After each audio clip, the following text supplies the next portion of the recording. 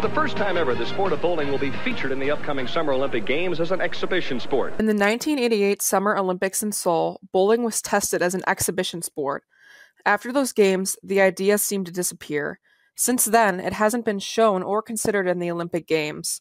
The Pro Bowling Association's ratings quickly plummeted after the 1980s, causing it to fall off the radar. Around the mid 2000s, the topic began stirring again. The PBA had fresh new faces.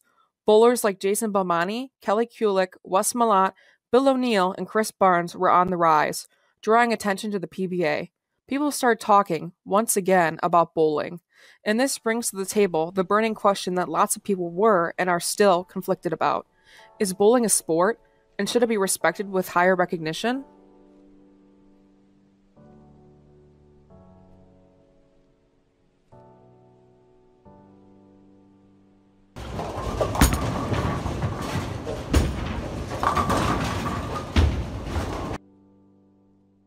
I do consider bowling a sport because it involves a lot of skill and physical activity. I consider bowling a sport. I do think bowling's a sport because you have to know like the technical things that go into it and there's a lot more than meets the eye. I think so too, just because like it's competitive and you're going up against other people and that's kind of the definition of a sport. I consider bowling a sport because it actually takes, it's something that usually takes skill. It's not just something someone can pick up. I would consider it an activity. Yes, bowling is considered a sport because there's competitive play and people do it and they try to compete against each other. Yes, because there's a lot of different things you have to take into factors. So like you have to hit a very small target down lane, you have to do the same thing every time, you have to be very consistent. So yes, it is a sport. Yes, I'm not sure why anybody would not consider bowling a sport. I do consider bowling a sport because there's competitiveness. Yes, I do consider bowling to be a sport, and I believe it to be so uh, because it's competitive. People use technique and strategy, uh, and there's a goal. You want to try to get 300.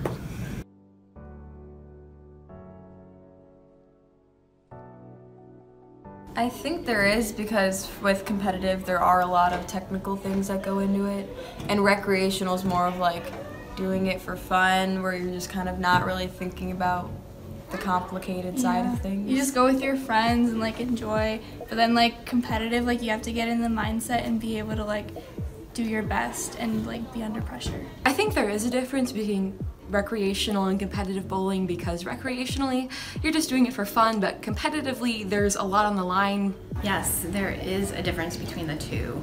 Um, competitive bowlers obviously are in like leagues and um, really love the, the game.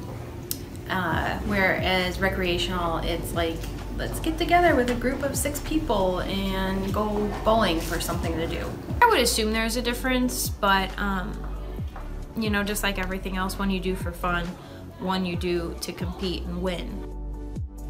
A majority of people will only see the recreational side of bowling, whether it's going out with friends or family once or twice a year to bowling a once a month couples league. What people don't see is the determination and hard work put in by the pros. Starting in 2019, the Go Bowling PBA Tour signed a multi year, multi platform deal with Fox Sports. It was a great opportunity for the sport to be projected to a bigger audience. Before coming to Fox, the PBA was aired on ESPN, but not often. Now, with a new contract, tournaments are broadcasted live every week during the bowling season, making it far more regular.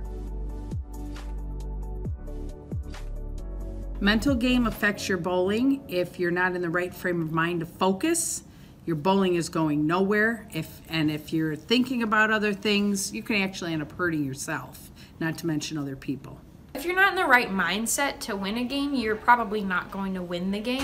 You have to make sure you're in the positive mindset because if you are in the wrong mindset, you're going to miss a shot, you're going to be too frustrated, you're going to be missing simple targets. Mental game, you really want to be there to bowl well. You have to have a good mindset going into it because if you have like like oh I'm gonna miss this, you're, gonna, you're not gonna do good. Right, like it's all in your personal confidence. Yes. I talk to my bowlers a lot about not letting their emotions control their bowling. And so sometimes, you know, they'll miss a shot, they'll, do, they'll, they'll have a bad roll, and they get so angry that it ruins the rolls for the next four frames. Um, so we teach them how to be mentally strong and understand that when you have a bad roll, you put it behind you, you move on, and you do better on the next roll. Bowling is a very technical game. When you're competing on a higher level, a lot of factors come into play. Physically, you need to have stamina for a lot of games at once. Professional bowlers may roll 10 to 20 or more games a day, competing in or qualifying for a tournament. Endurance, pacing, and eating slash drinking nourishing foods is key. A lot of the acceleration from your bowling approach will take place in your legs, and especially your knees. Upper body and lower body strength are both important when bowling. Mental game also plays a huge factor. Being in the right mindset can be difficult when you're trying to calculate and decipher moves and changes throughout your game.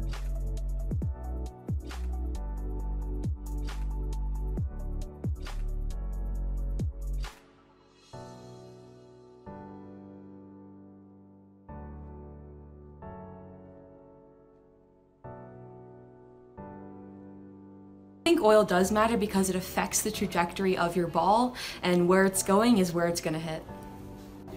Yeah, the oil on the lane should matter. Um, it'll affect the way the ball moves over the lane. So if there's no oil, it's not going to move well. If there's too much, then you're going to have one oily ball.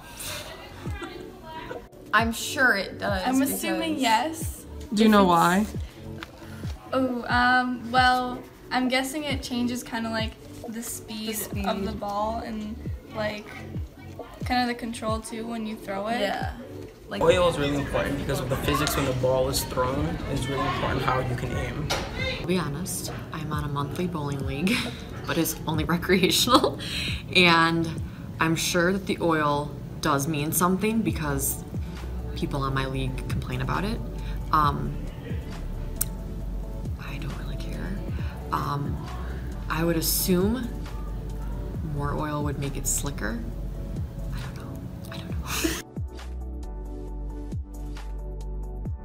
Yes, the oil in the lane matters because when it gets dried up, it starts hooking a lot more. So you have to change your speed, you have to change your mark that you're throwing it in, and it can change the way your ball's reacting on the lane. Oil on the lane does matter, and it, it does depend on what you're throwing, how you're throwing. Um, if you're a beginning bowler or if you are an experienced bowler, what kind of ball you have, uh, it's going to make a difference in your bowling. The oil in the lane matters to people who hook the ball. The more oil that there is on the lane, the less your ball will hook. And certain oil patterns will allow your ball to hook more in certain places than other on the lane. But for the common bowler who throws the ball straight, it doesn't matter much at all. The oil on the lane matters more than almost everything because that's how you get your ball into a skid to store energy so that it breaks. In other words, it hooks into the pocket. And so the conditions of the oil are what we battle in our sport of bowling all the time. So as the oil gets pushed down lane or the lane starts to dry out from the other bowlers, we have to manage uh, different bowling balls, different shots, different movements in order to combat it. So uh, it plays a huge part in the game.